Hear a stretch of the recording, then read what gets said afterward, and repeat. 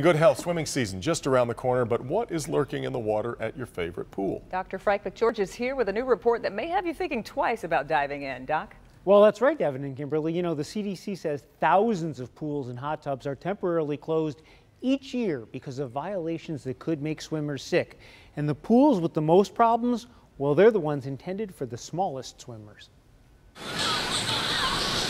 Before you take the summer plunge, consider this.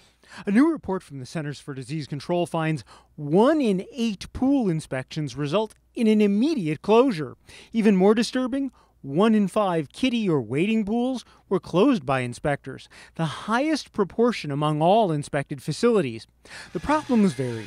Chemical concentrations can be off, raising the risk of a waterborne illness. Drain covers may come loose, posing a serious safety hazard.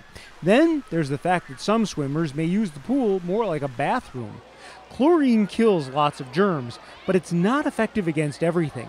A strong chlorine smell is actually a bad sign. That happens when the chemical reacts with contaminants in the water, including urine. So what can you do? Well, perform your own inspection of the pools when you visit. Look to see if the staff is testing the water frequently with test strip or pick up a kit at your own local pool supply store. Also, see if the drain in the deep end is visible. Clear water means that the lifeguards can keep an eye on swimmers.